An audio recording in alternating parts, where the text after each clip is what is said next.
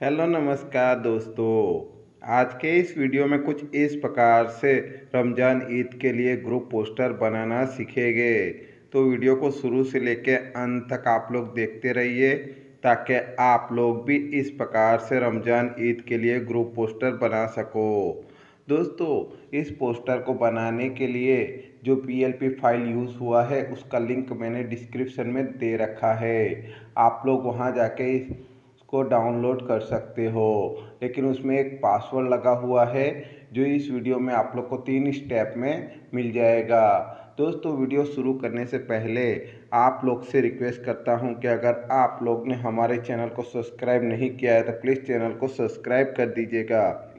दोस्तों, पोस्टर बनाने के लिए पिक्चर लैब एप्लीकेशन की ज़रूरत पड़ती है, जिसका लिंक मैंने डिस्क्रिप्शन में दे रखा है। आप लोग वहाँ जाके इस ऐप को डाउनलोड कर सकते हो। तो दोस्तों, पोस्टर बनाने के लिए पिक्चर लैब एप्लीकेशन को ओपन कर लेते हैं। एप्लीकेशन को ओपन करते ही कुछ इस तरह का इंटरफेस हमारे स्क्रीन पे आ जाएगा। यहाँ पे न्यू टेक्स्ट को हम लोग डिलीट कर देंगे। उसके बाद राइट साइड कॉर्नर में ऊपर की साइड पे थ्री डॉट के निशान पे क्लिक करेंगे। नीचे स्क्रॉल करके ओपन पीएलपी फ़ाइल पे डबल क्लिक करेंगे। यहाँ पे पीएलपी पे क्लिक करेंगे। यहाँ एरो के निशान पर क्लिक करेंगे। और जहाँ भी हमने फ़ाइल को डाउनलोड करके सेव करके रखा हुआ है, वहाँ से हम लोग फ़ाइल को ओपन कर लेंगे। यहाँ पे रमज़ान ईद पीएलपी पे क्लिक करेंगे।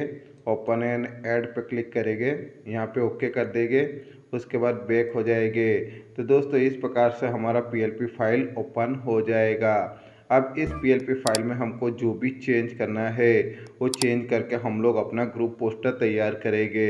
इसके लिए प्लस के बगल में जो आइकॉन बना है, वहाँ पे क्लिक करेंगे और जहाँ भी हमको चेंज करना है, उसे डिलीट करके या एडिट करके हम लोग चेंज कर सकते हैं। तो दोस्तों, देख सकते हो यहाँ पे मैंने कुछ फ़ोटो पीएनजी लगा रखा है।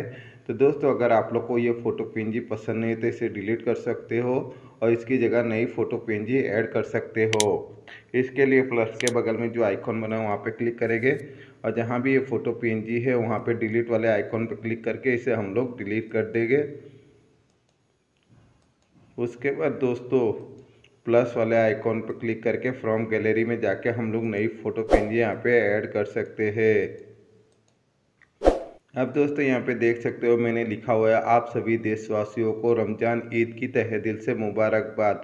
दोस्तों यहाँ पे जो रमज़ान ईद लिखा हुआ है, वो डीजी फॉन्ट है तो अगर आप लोग के पास इसे भी बढ़िया कोई डीजी फॉन्ट है तो उसे यूज़ कर सकते हो या फिर इसे ही रहने दे सकते हो। अब दोस्तों यहाँ पे देख सकते हो मैंने ग्रुप फ्रेम लगा रखा है। दोस्तों, यहाँ पे आप लोग अपना, अपने दोस्तों का, अपने गाँव के लोगों का या फिर अपने परिवार के लोगों का फ़ोटो पेंजी ऐड करके अपना ग्रुप पोस्टर तैयार कर सकते हो। इसके लिए प्लस वाले आइकॉन पर क्लिक करेंगे, फ्रॉम गैलरी में चले जाएँगे और जहाँ भी हमने फ़ोटो पेंजी सेव करके रखा हुआ है, वहाँ से हम लोग फ़ोटो पेंजी को सिलेक्ट कर लेंगे। यहाँ से मैं ये वाली फ़ोटो पेंजी ले ले रहा हूँ। उसके बाद दोस्तों, इसको क्रॉप कर लेंगे जितना भी हमें चाहिए। उसके बाद यहाँ पे ओके कर देंगे। उसके बाद दोस्तों यहाँ पे बड़े वाले बिंदु पे क्लिक करेंगे और उसको छोटा कर लेंगे जिससे फ्रेम में सही जगह पे एडजस्ट हो जाए। तो दोस्तों देख सकते हो यहाँ पे मैंने एक फ़ोटो पी को ऐड कर दिया है। इसी प्रकार से दोस्तों बाकी की फ़ोटो पी ऐड करके हम लोग अपना ग्रुप पोस्टर तैयार कर सकते हैं। अब दोस्तों इस पोस्टर को हम लोग गैलरी में कैसे सेव करें, इसके लिए शेयर वाले आइकॉन पर क्लिक करेंगे। इमेज फॉर्मेट में जेपीजी या पीएनजी सिलेक्ट करेंगे क्वालिटी डायमेंशन में अल्ट्रा सिलेक्ट करेंगे और सेव टू गैलरी पर क्लिक कर देंगे।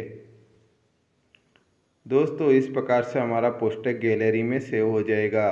दोस्तों, इसी प्रकार से आप लोग को किसी फेस्टिवल का या अपने शॉप का बैनर बनवाना है तो कमेंट करके बता दीजिएगा, मैं उस पर वीडियो बना दूँगा, जिससे आप लोग मोबाइल से ही पोस्टर बना सको।